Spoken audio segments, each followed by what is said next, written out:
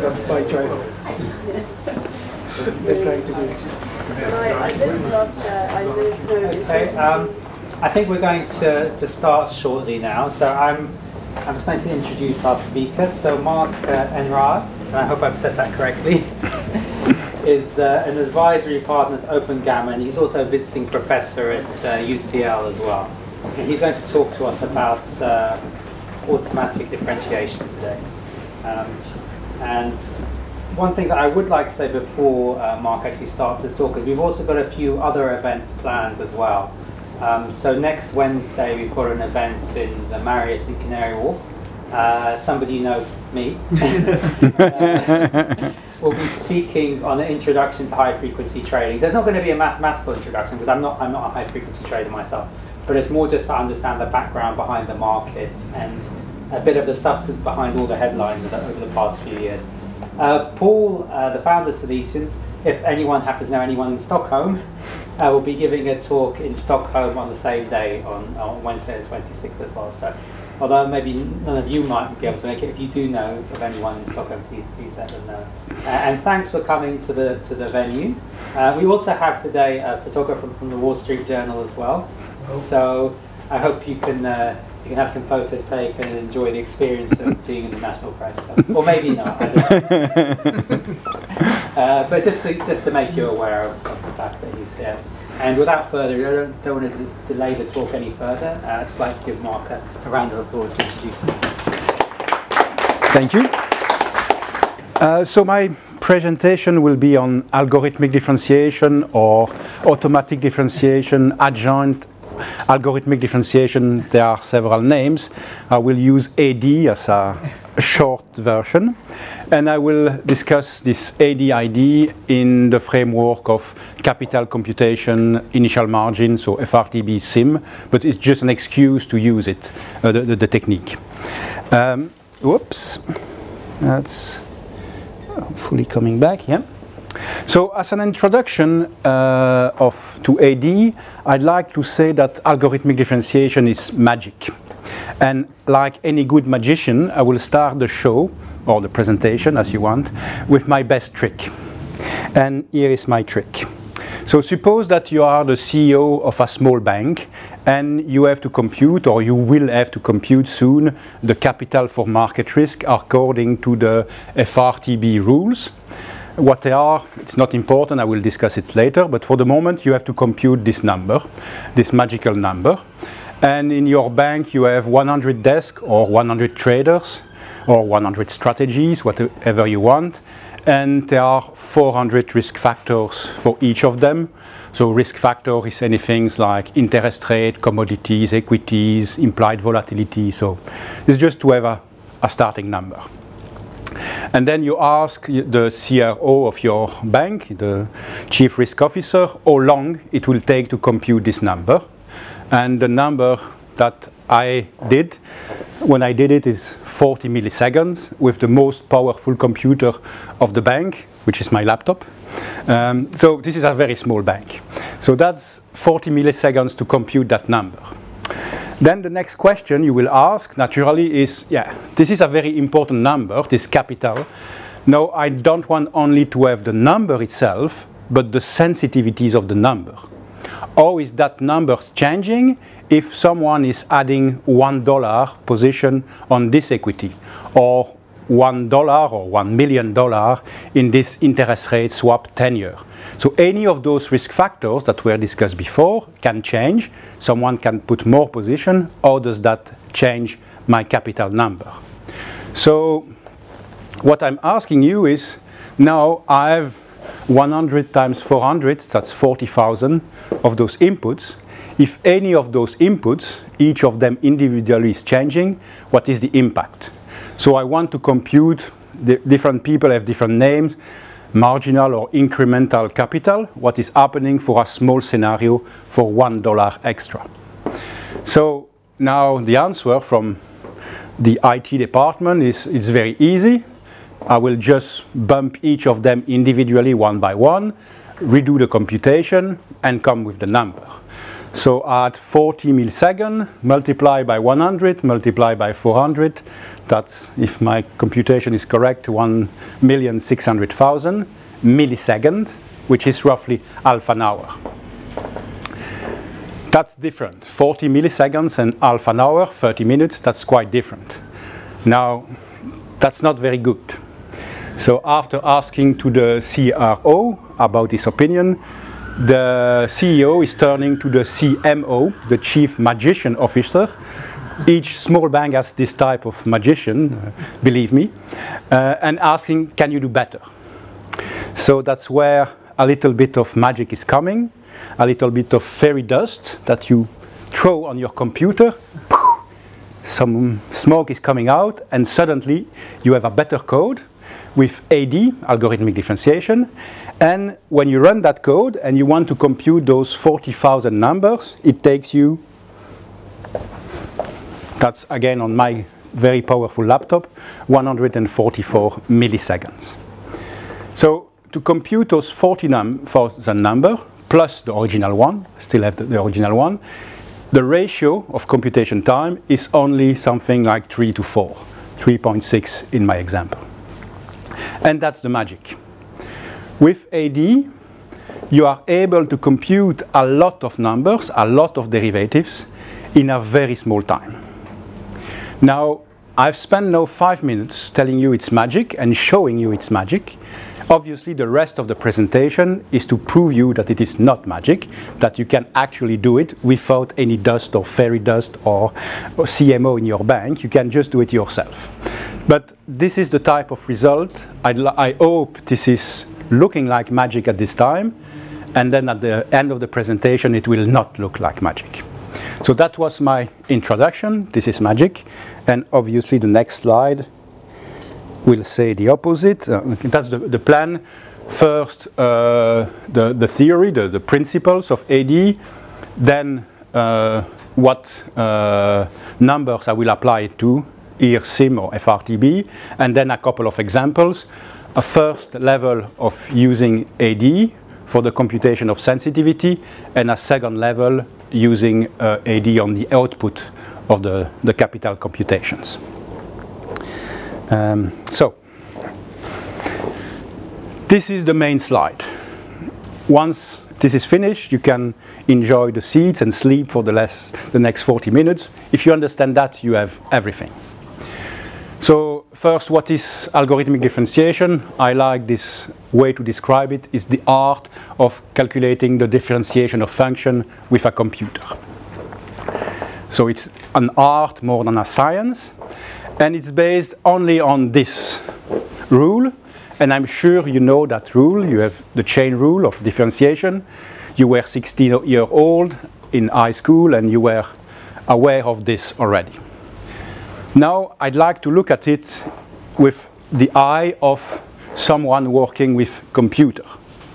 So let's first read the, uh, the formula.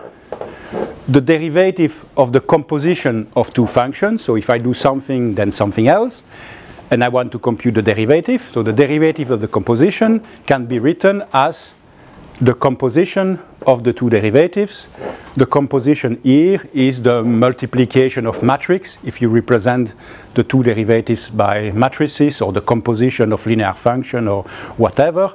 Uh, because I'm a computer scientist at least for the next five minutes, for me it's multiplication of matrices.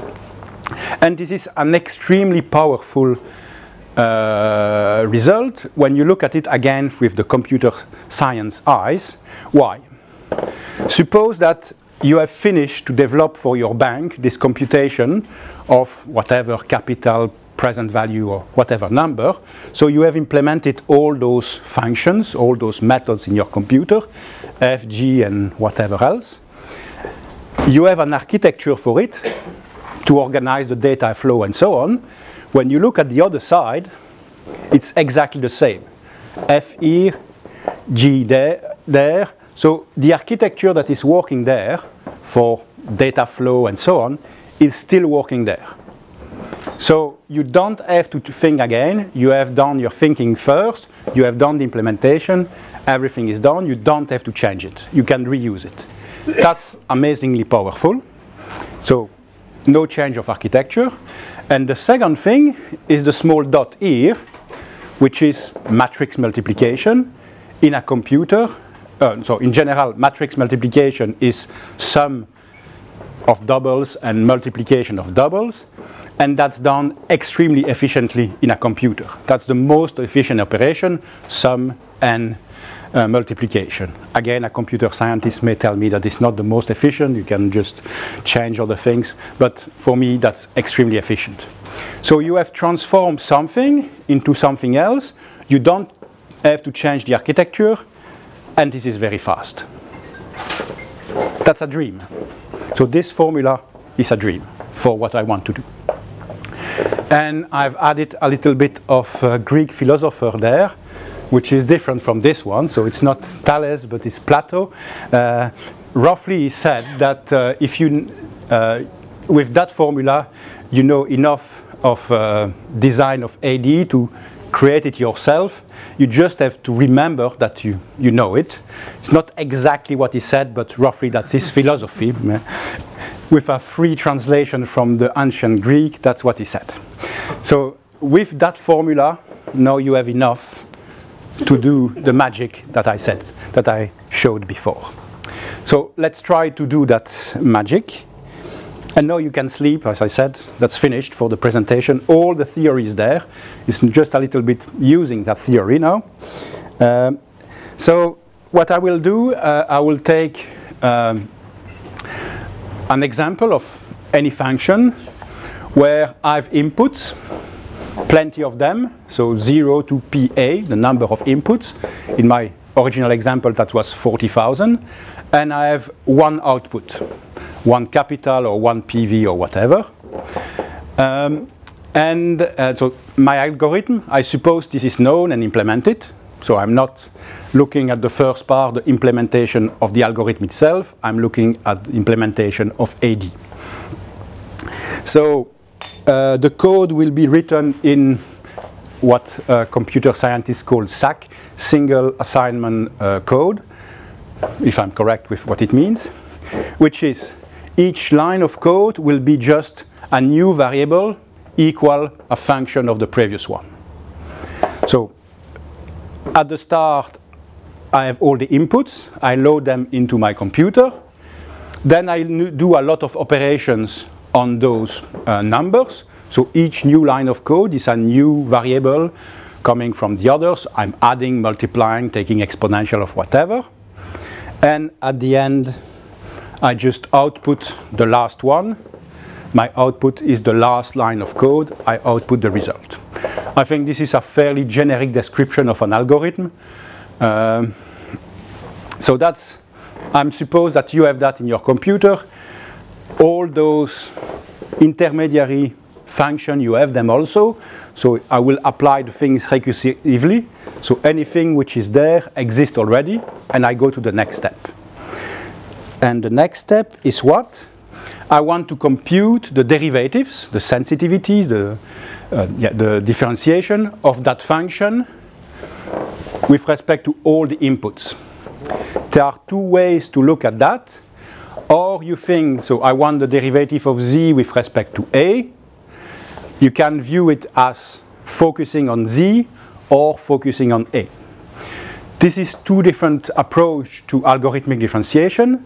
One which is called the standard or the forward AD, which is focusing on the A, on the inputs, and one which is called the reverse or adjoint or backward AD, which is focusing on Z, on the, the output. I will discuss only the adjoint version because it's the most efficient in finance. Uh, and I would need a little bit more time to go through the other. But uh, so let's look only at that side. I will focus on Z. So my output is my focus, which means that everything that I will ever differentiate will be always I compute the differentiation or the derivative of Z with respect to plenty of things. So z will always be fixed. To the point that my notation, when I will have something bar, it is the derivative of z which is not written because it's implicit, it's always there, with respect to that uh, variable. Which is the different from if you have done some physics, you had something like b dot, which is the derivative of b with respect to t. Here it's the opposite. b bar is the derivative of z, which is always implicit, with respect to b. So maybe you have to switch a little bit your mind, and that's why it's called reverse or adjoint. You have to look at the problem in the reverse order. So that's for the notation. And how does it work in practice? So that was my starting algorithm. Initiate uh, it, the starting points, the algorithm, and the output. And now I want to compute the derivative of z with respect to everything. There is one line which is very easy, which is the following. What is the derivative of z with respect to z? That's simple. you may remember, that's one. And that will be the starting point of my recursive algorithm. So the first point I know, derivative of z with respect to z is 1. And now I will read this from the bottom up. That's why it's called reverse uh, AD or adjoint AD. And at each line, here is what I do. So all the previous line have been done. I go to the next line, the next line in reverse order. So I want to compute the derivative of z with respect to this new b, the new variable. And I do that how? The derivative with respect to uh, bj is, with, is the derivative with respect to all the intermediary variables multiplied by the derivative of the intermediary variables with respect to this one. So that's my composition of function. So I compose one line with all the previous uh, variable. So the sum on all the previous line of my partial derivatives. This one, derivative of z with respect to something, I called it b bar, b bar k in this case. And that recursively, I suppose it has been computed already. Starting from this one, which is 1, I have all the other intermediary. So this is known. That appears in my code. This second part, the derivative of bk, that was uh, g. That's the derivative of g. And there I will suppose that recursively I have already developed the code for that previous function. Obviously, at the bottom of your library, this one will be plus one, uh, variable b plus variable c. And the derivative of the sum, you can do it manually. Uh, if it is a multiplication, you can do it. If it is an exponential, you can do it. And if it is something more complex, like this is the PV of an exotic derivative, you suppose that you have implemented AD. So it's a recursive algorithm on the code, and within each method, it's again recursive on each line of code. So once you have done that, that you have it, that you have it, you can sum and multiply, and if you go down, up, or down, up, up to the first line, down here, you get at the end the derivative of your last z with respect to everything, all the variables, and in, in particular with respect to all the inputs. So it's really recursive on each line of code and recursive on each method you have used in your architecture. Um,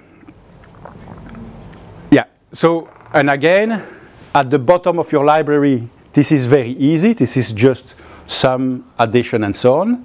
And also nowhere I, I've written what the actual financial meaning of this code is.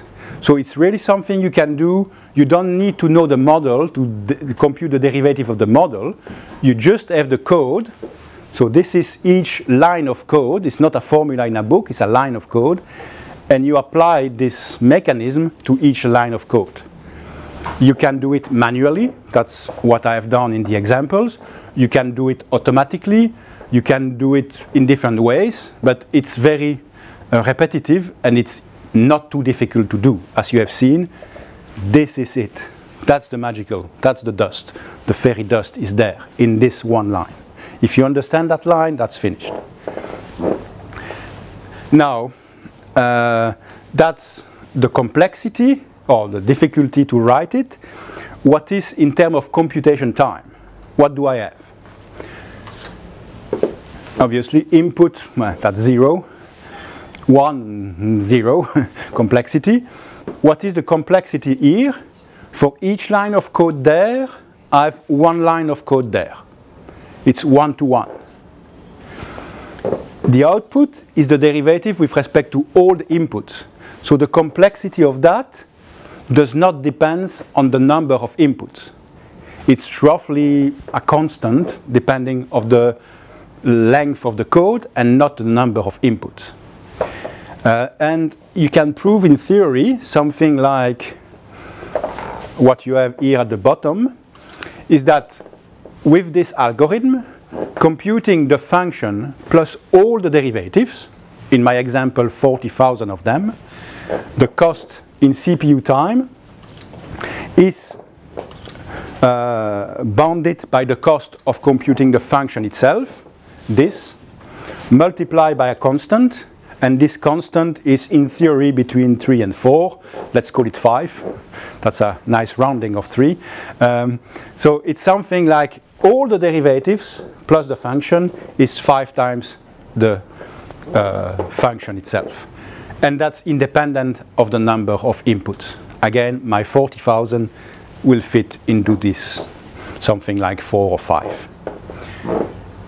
And that's really the power of this is really one line of code here, one line of code there. What I've said is true if you have only one output.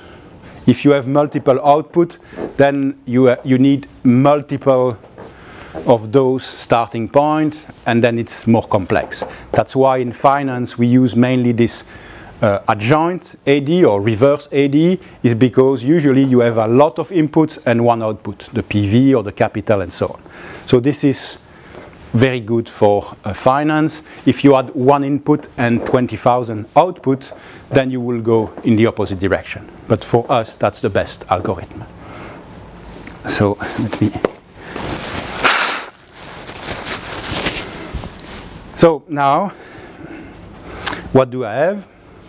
So that's, I've presented the principles, the main, the, the foundation. I will show one example or one method on which I will apply it, and then I will look at the actual uh, implementation and examples. Uh, so uh, this is related to capital computation, market risk capital, or uh, differently to initial margin for bilateral margining. Uh, the reason why I put them together is that the regulators, the Basel Committee proposed something in 2014 and when the new regulation on something different on initial margin came out, the, the, one of the industry proposal by ISDA was to reuse the same methodology to compute initial margin. Because if you throw at the regulator what they have thrown at you, you expect that they will say yes, roughly. So that's why this same methodology appears twice, once in capital, one initial margin, uh, where they are somehow related, but there was no reason to come with the same answer. But if you give the, to the regulator what they gave you, you can expect that they will say yes. So, what is the base of this uh, computation, this initial margin or capital computation? First, it is sensitivity based which is very good for AD, obviously. That's why I've selected that. And it is based on computation of sensitivities in this, with this meaning. So for interest rate and credit, you have to compute the sensitivity of the value of your book with respect to some benchmark instruments, so the nodes on a, on a curve. So they are uh, for uh, FRTB 10 specific nodes between 3 months and 30 years. And you have to compute the derivative of the PV of your book, or each instrument individually or collectively, with respect to those different inputs. Sorry. Yeah. Uh, just getting lost with the, abbreviations. So GIRR is the interest rate. It's not internal rate of return or something. No, no, it's the uh, generic inter uh, interest rate, uh, something like that, and the credit spread, And PV is present value. present value. So the value of your book, Yeah. and so that the sensitivity of the value with respect to a certain set of given interest rate, three months, six months, one year, up to 30 years, and the same on the credit spread. Okay. For equity, commodity, and forex, it's slightly different. Uh, it is also the derivative of the present value, the value, with respect to the inputs, which are the price of equity, the price of commodities, but here multiply by the level.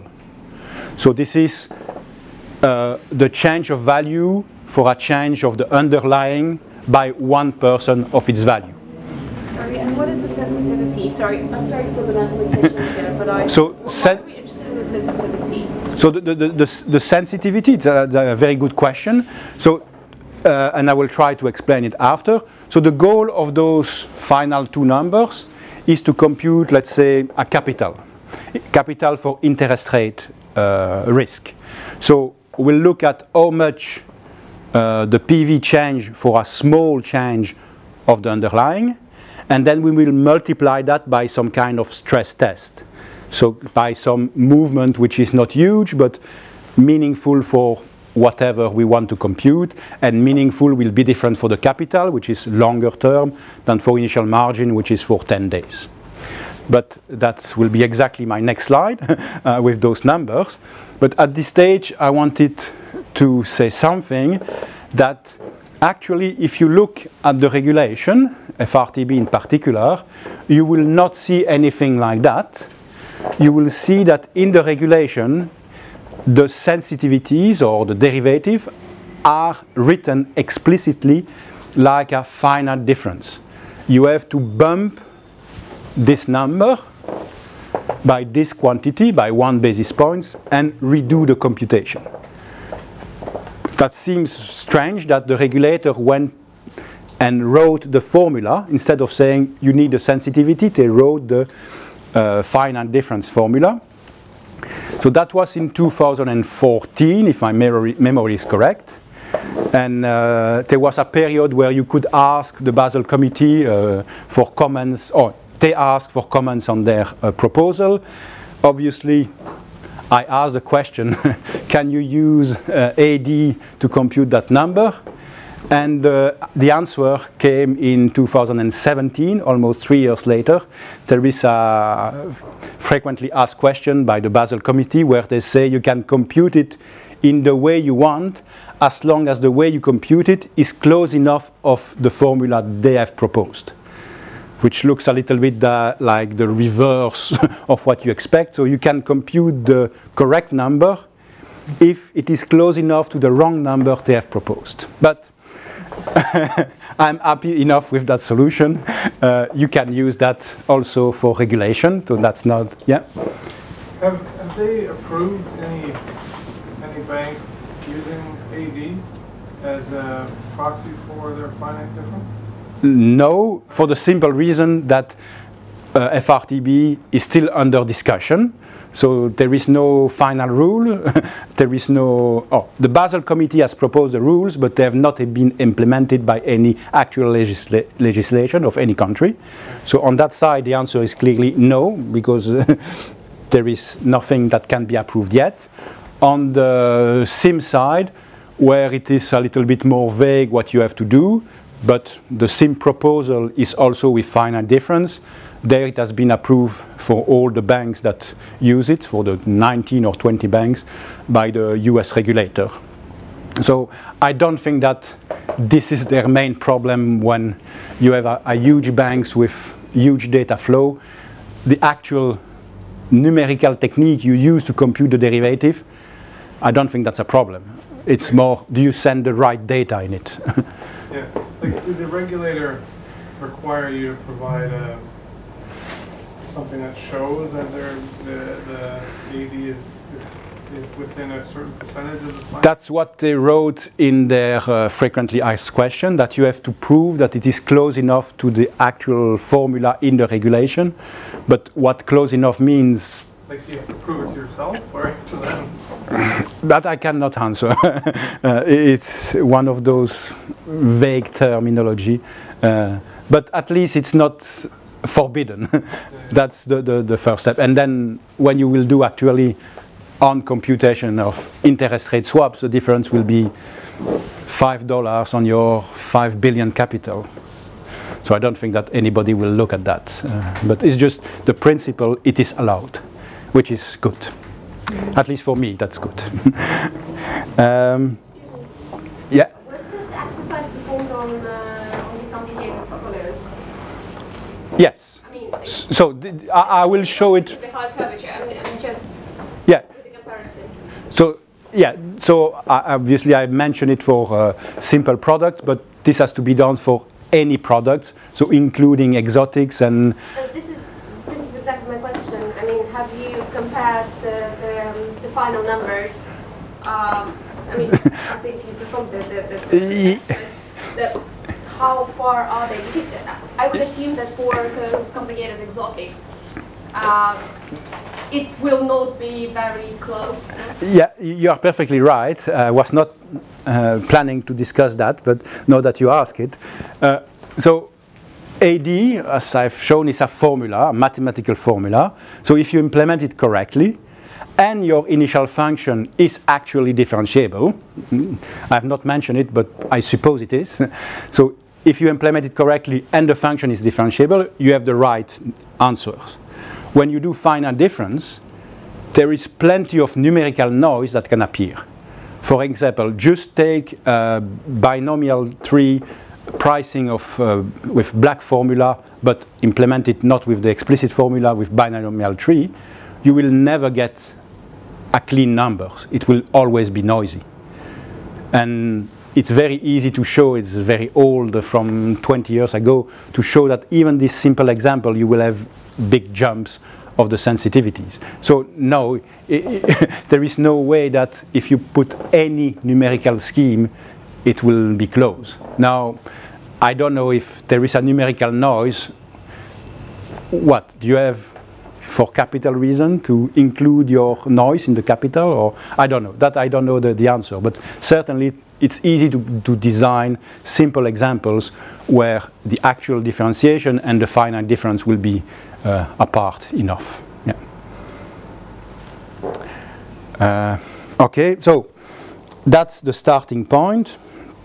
And then there is a certain number of layers put on that which is you take those sensitivities of derivatives and you multiply them by some quantity provided uh, by the regulators or by the ISDA, which is called a risk weight.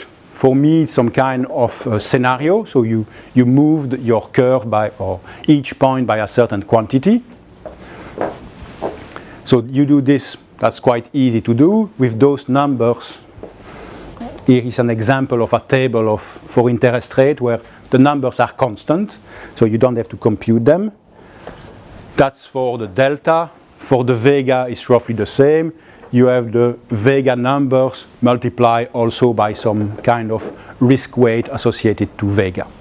So it's Please go back uh, just one slide. Sorry about this. Um, no, to the buckets and Yeah. the numbers. Sorry, so I know that's the derivative regulator kind of ident. But what's buckets ISDA regular load? Just buckets and ISDA. Please define what those are. So, so I just want to So- follow. Sorry. Yeah. I've forgotten. so those oops, those numbers. Yeah. So it's for the change, the derivative for each of a set of uh, tenors. So those are, whoops, the one here. So for the change of the six months, the one year, and so on. This is the change over the time period. O- over the, let's say, the change today Okay. of that quantity. Yeah. And this is to say it will change by 49 basis points on the two years, 58 basis points on the one. stand for again, please remind me. Is there? Is ISDA, what does it stand? Uh, that's uh, International Swap and Derivative Association. Yeah, so the lobby of the, the banks. Just want to make sure I'm in the same universe. So, but for the moment, is this is just a constant number you look in a table, multiply but what, by what the sensitivity you have computed. And then you start to, to pile those things, aggregate them together. First into buckets. Buckets for interest rate is one currency. For equity, that will be one sector. So you pack them together with some correlation. So there is another number provided, a correlation matrix, and you pack those, them, uh, those together. So you aggregate according to a correlation. Once you have done it at the bucket level, you have another level, the asset class, so all the interest rate delta, all the interest rate vega, and so on. So you pack them again together with the same formula. Actually, not exactly the same formula, something with a little bit of, I will not call it magical dust, but uh, some special thing. So I, I can go and explain why, but I don't think it's very important. At this stage, what is important is that you have computed your sensitivities and you pack them up with relatively simple formulas. Yeah? It's not, you're saying it's not really important because this is the regulator prescription, right? Like the regulator. Uh, it is not important for what I want to do, which is show um, technique, uh, computer science technique, Yeah, yeah. by opposition of what the number means. Yeah. Yeah, Obviously, if you want to know what the number means, that it, it's important to look at the details. Yes. but it's aggregation where each line is something new equal a function of what was before. And you pack them together. There are two small things to be a little bit careful. In some places there are max and mins, so it means that you can have angles, so things that are not differentiable in theory.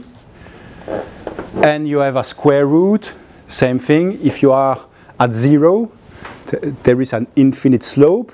So it means that if you have zero risk, then computing the derivative or the sensitivity of your risk with respect to something will give you strange numbers. But apart from those technical difficulties, if you look at it from far away enough, that's quite easy as formulas. So I've applied those formulas and the AD version to uh, that computation, and I think that's what I have. Yeah. So let me now that I have put two things together, the methodology and this uh, computation of capital or IM together, let me look at how to apply AD in practice. And the first, you can expect it from what I've described, the inputs of FRTB or SIMM are the derivative, the sensitivities. So there I will use AD a first time. So, I don't know. Uh, so, first one, I will be quite quick on the description and I will show a couple of results in terms of CPU time computation. So, uh, for my example will be in this case interest rate market where I have to compute those sensitivities of the present value with respect to all the inputs. So I've put very quickly the algorithm that I've used to do that. I have the inputs from the market, the interest rate from the market. My first step is to calibrate the curves, the zero curve, so from the raw data to the calibrated data. That you have certainly in your uh, libraries an algorithm to do that. What do I have to use or remember to be able to do AD later? What I need is the derivative of each step. What is the big step in the calibration is to go from the raw par rate or market quotes into the zero rate or calibrated quotes or calibrated numbers, parameters. And for that, I will store this change from one to the other and its derivative, usually called the Jacobian. Uh, how is the calibration done usually? You have plenty of inputs. You want those calibrated curves. So you throw all your requests, all your instruments into a big uh, machine that will compute, uh, find the roots of your problem. And by itself, the best or one of the most efficient way to compute the roots of this multidimensional system is by a Newton-like root finding exercise.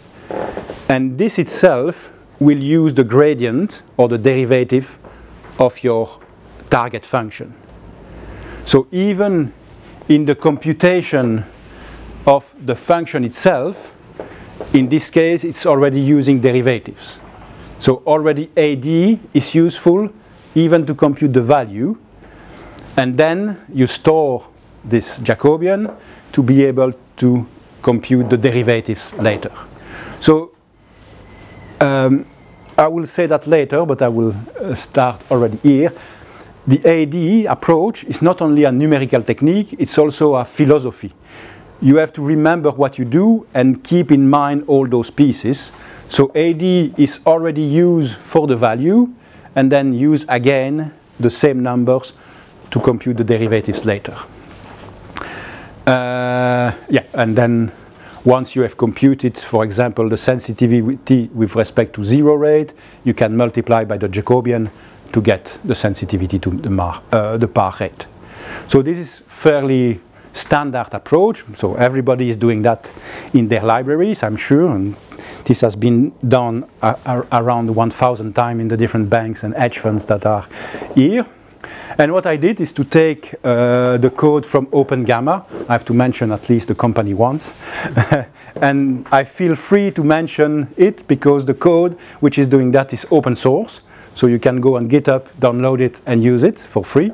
So I think I'm allowed to mention something which is free. Um, and I did that and I took a simple example, three currencies, three curves, 12 node each curve, that's the, the SIMM, or 10 for FRTB, and the number of swaps, 25 desks, 3 currencies, 30 swaps by currency. Again, it's just to have numbers to play with. I did the curve calibration, that takes 28 milliseconds. I compute the PV of all the swaps, that's 27 milliseconds. And then I have applied AD. I don't have time to go through the details, but once you have seen the methodology, you have an idea of how it will apply. What was the result for the computation of derivatives? Actually, value and AD for the calibration was the same time. The reason being what I've mentioned earlier, even to compute the value, you use this uh, Newton-like method, which requires the derivative. So when you compute the value, you have already computed the derivative. You just have to store them. So that's free. Uh, for the swap, actually, in the library, the ratio is not as good as I promised. It's only 8 instead of 4 to compute my mm, something like 20-something derivatives. So it's not always perfect. Uh, in practice, in this case, I'm computing a little bit more number than what I need because I, I use them for something else, but I cannot lie because it's open source. So you can run the code yourself. So uh, this is what I have in practice. And when you look at the total to compute the, the value and all the sensitivities, that's roughly the ratio.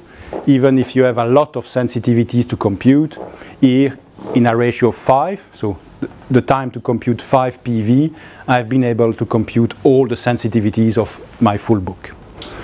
So if I was using finite difference, I would go from 260 to 1600. So I've saved, I've divided the computation time by six.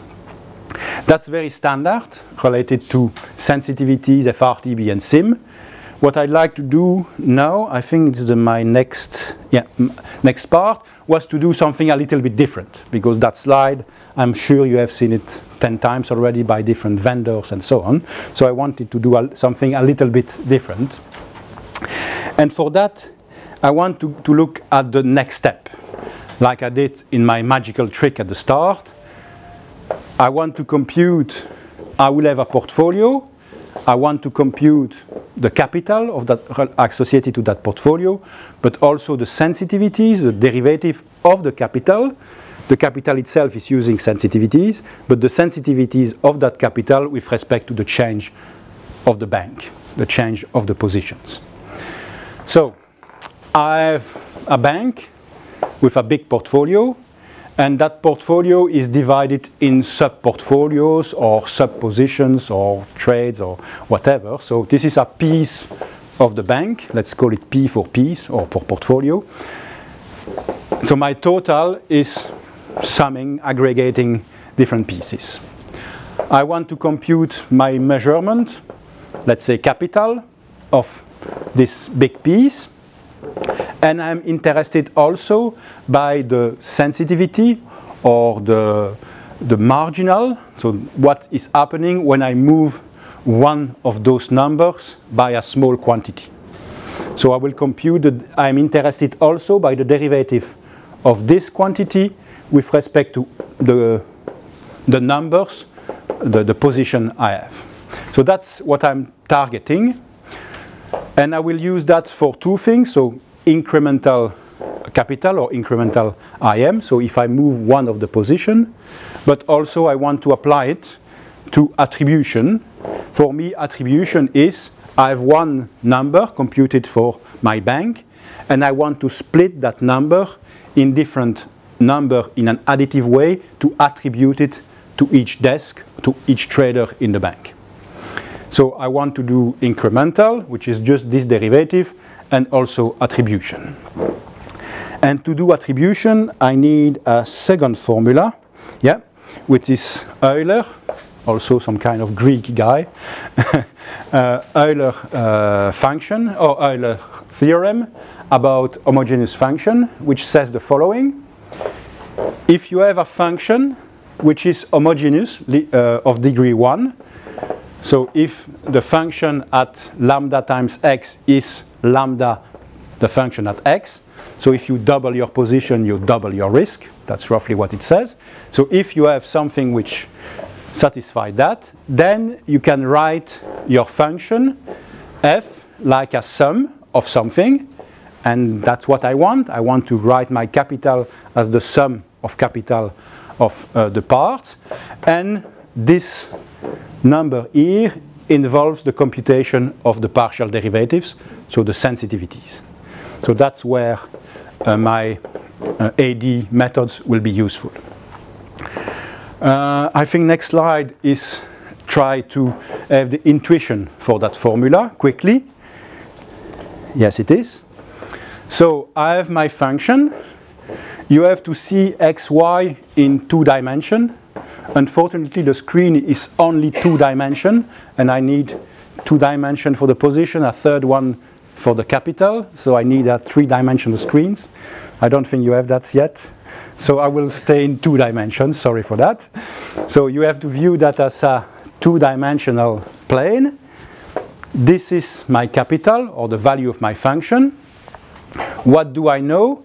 If I take one point, in that direction, going to the origin, it is linear, so it's homogeneous of degree 1, so it's a line.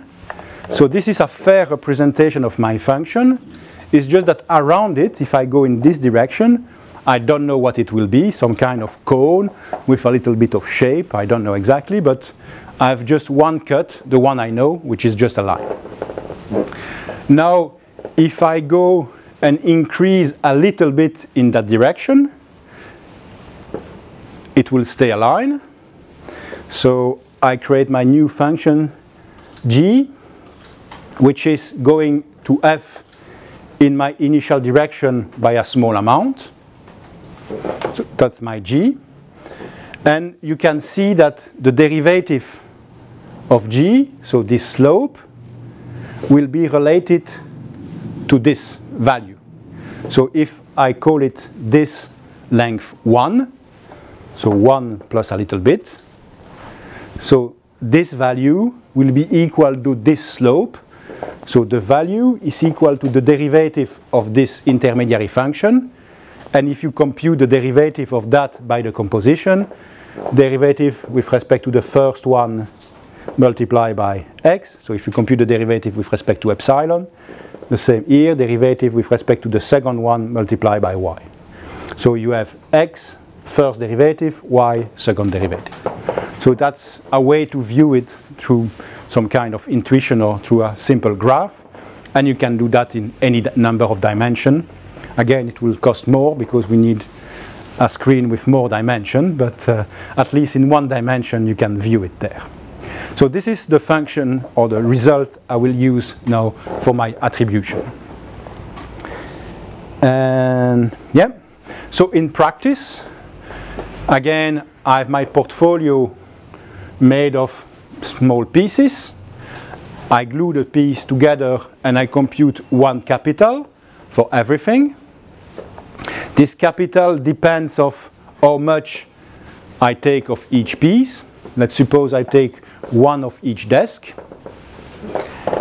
So that's the, the initial capital and I will write it as this sum of those partial derivatives.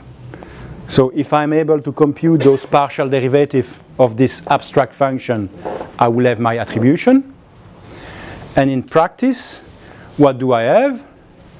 So my portfolio are made, in my examples of SIMM or uh, FRTB, they are made of some sensitivities, plenty of them. And I can compute by AD the derivative of the total with respect to each of those individual inputs.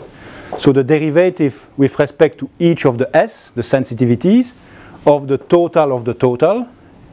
That is free, not free, just cheap, with my AD. So I have all those numbers. How do I get what I want? The derivative with respect to one of those x, derivative with one of those x of the total, with the x appearing in several of those pieces. Again, you know how to compute the derivative of a composition. Uh, you compute the derivative uh, with respect to each of those s, multiplied by the derivative of this with respect to x. So it is the derivative with respect to s multiplied by, sorry, derivative with respect to x of this quantity s. So all the attribution is almost free, just summing and uh, multiplying, if you have all those numbers. All those numbers, that's what I had at the very start. When you have IAD, they are coming for free. So everything which is there is very cheap. And that's what I go back to my first slide, my magical slide. Computing with that desk uh, of equity was 40 milliseconds. Computing all the 40,000 derivative was 144. B adding them together in my uh, 100 uh, subdesk, adding numbers in a computer takes zero. So you cannot even see it here. It's somewhere in the decimals. Um, so computing those 40,000 or those 100 numbers takes exactly the same time in practice. And that's the type of result you can get with that. I think I've, oh yeah, I obviously did the same for interest rate because I like interest rate. I took back my uh, three currencies and 25 desk, applied the same with curve calibration, PV. So this is a little bit longer in terms of intuition. You have first to calibrate, compute the PV, compute the sensitivities with respect to all the, the sensitivities and so on. But if you add all that, computing the capital, uh, 28 milliseconds, 27, 15, that's a total of 70. If you want to compute all the sensitivity of all the number I've discussed up to now, uh, that was free. That was in the previous slide something like 200 milliseconds. Here computing the sensitivities, I have less of them was only 27 milliseconds. So the capital itself, 70, the capital plus the attribution between my 25 desk, plus the sensitivity with respect to all the intermediary sensitivities I have, all those uh, 5,000 number or so, are included in that number. And that's a ratio of 4.1 with the initial number. So that's the type of things you can obtain with AD. Um, I don't remember. Oh, yeah, I think I have one extra slide, yeah. So I've said already there are, in this problem, two ways to use AD. One for the inputs, the sensitivities. Two for the attribution or the marginal. And I've added a third one because I like it uh, so much that there is a third one for free. Uh, now, I've computed sensitivities, this marginal, with respect to the numbers that are the inputs, the sensitivities. Now, if you tell me the capital is increasing by $5 for each dollar you add on the PV01 of the five-year swap, that may help a dealer, but may not help your salesperson that does not know what's the relation between notional of swaps and the PV01. So maybe you want also to have all the numbers discussed, not in terms of PV01, but in terms of notional. What is the link between notional and PV01? There is just a multiplication, which is coming from a derivative. So if you have stored at the right moment the right derivative, you have already computed, you can magically take it back and all the numbers that you had previously, put them back uh, as uh, notional. That's what I have done in this example. I took my random portfolio, I computed the capital, then I computed the sensitivity of the capital with respect to the PV01. So in this case, if I increase the PV01 of the 30 years euro, my capital decreased by 49 uh, sterling. This was a sterling bank. So that's a number for each PV01. And by using AD, not in a direct way, but indirect way, by storing the ratio between notional and PV01, which is just a derivative, I can get again for free the same report, but no in terms of uh, 1 million notional, if I remember well. If I increase my, uh, my position by 1 million uh, sterling on my euro uh, position, so sterling equivalent, my capital requirement will increase by uh, 128,000 uh, sterling.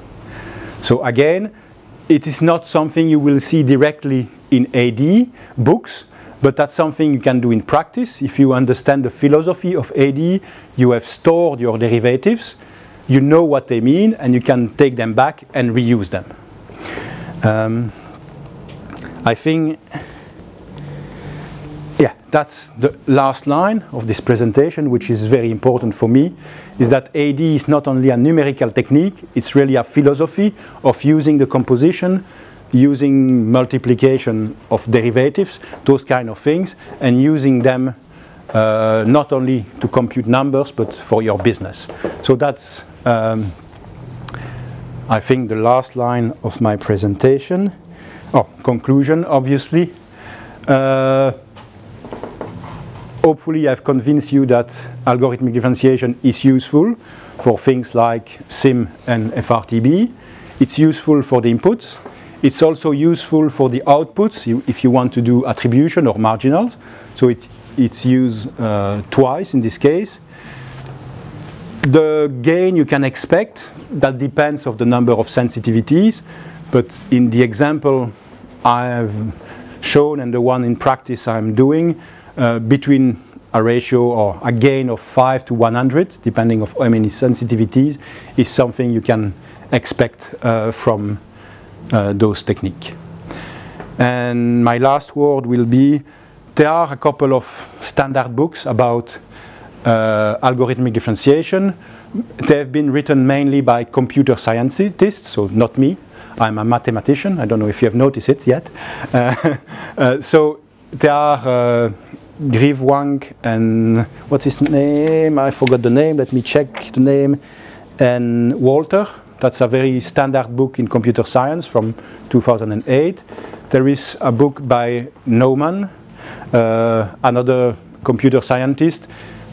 The, the advantage of the, that new that other books it's linked to some uh, actual libraries that he is selling with NAG. so I'm not advertising for them but you can buy the, uh, those libraries also and my last slide is an advertisement for myself which is the book on algorithmic differentiation which is with the editor and will be out in roughly a month or so and the price of the book, if you go today on Amazon, is 14.99 in pounds, so which is one cent less than what you have paid to come here.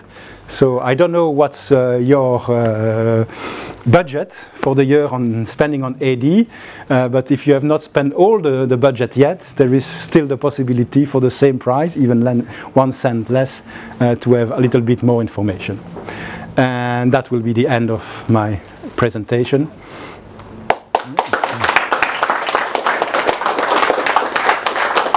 Happy to to take questions and. Um, are any of the OpenGamma people here? Yeah, there are a couple of us. Why, why, why would you have open source um, platforms like this? Why would you give this information away to capital markets? Uh, first, I don't think there is so many secrets. There, you need a lot of time to implement things, but I don't think there is secrets. So many people move from one bank to the other, one vendor to the other. There is nothing secret in what I've said. So there is no secrecy. What we believe is that by giving away, uh, but no, I'm giving my secrets also, uh, giving away the code, it's some kind of marketing exercise. Nobody will take the code and run away with it. People need to time to implement it, uh, to understand it, and so on. So by showing the transparency and giving away the code, we hope that the people will come and ask us to help them and believe that we understand what we are doing. Now, we can try to sell it, but uh, I don't know, maybe I should ask me the question to you in the audience. Is it something you are interested in to see the open source code? Or do you trust us enough that just saying that we do it properly is enough for you? I don't know. Uh, but I don't think there is a lot of at least that's the starting point of the company, that there is enough in the uh, giving the code is not enough. You need to understand it and so on, and that's where we hope to to make uh, uh, some money and to sell services around it. I think the regulators are very keen that you know that uh, the code needs to be available to the banks because you know uh, you know, treating like a, a, a you know, uh, as a black box is not basically something permissible by, by the regulator. So it's something that uh, I, I, I, think that's really uh, important that to have like a the code available to the user. Otherwise, it will be very hard to convince. Are, are you a regulator by any chance? Sorry? Are you a regulator by any no, chance? No. no. Okay. Just, uh, what a pity. Uh, just, we have the regulator basically on our back yeah, I, I, I agree because those things are, as I said, so standard and so on. It would be very nice to have things transparent. Uh, but for example, we have tried, is there anybody from ISDA in the room? No? Are you recording what I'm saying? yes, okay, too bad. Uh, we have tried to open source the SIMM code, which is implementing the ISDA methodology, ISDA was, didn't agree with that. So we have not open source SIMM, uh, even if the methodology is well known, because some people don't want to be too transparent, or maybe it's not too transparent, they don't want to make it too easily available, or something like that. Uh, but uh, the, the, transparency is not yet something that everybody wants or everybody is pushing for. But if the, the, the, regulators want to be more transparent, I will be very happy. can I ask, are you from a bank or from a hedge fund? From a bank, yeah. Okay, from a bank. Any other questions? Just one comment on, on the attribution, actually, just mentioned on the AD. I think although I, I can see uh, basically that, uh, that, that it's very useful useful for you know for the uh, in the sense that you want to see what uh, what is basically the, the attribution for each trade in terms of uh, uh, contribution in the SIMM, so that you can charge the desk uh, how much, you know, how much they, how much they, they, they contribute, uh, to, you know, to, to uh, in terms of total cost.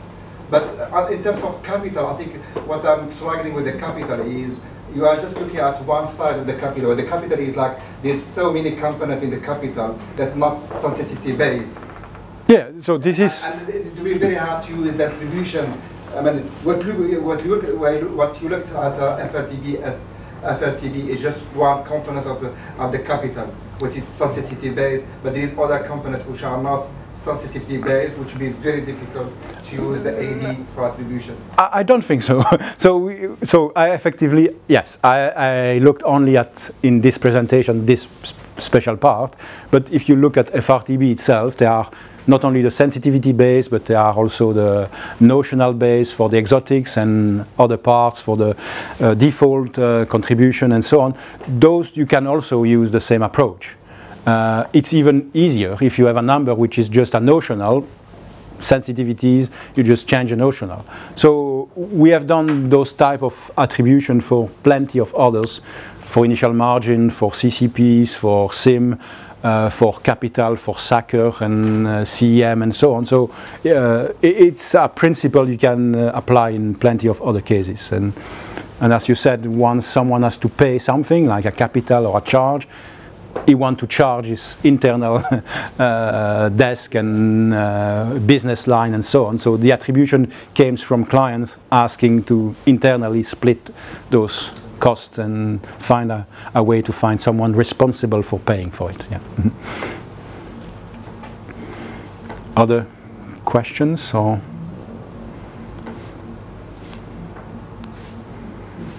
There are special uh, language between Oh yes, yes. Uh, Paul, Paul has an announcement to make. Thank you very much. So Yep. I presume there are no, no more questions. But I will be there around if you want uh, for drinks You can and see questions. Us at the bar after after this. Um, so I'm going to stop recording as well. Thank you very much, Marc. It was a fantastic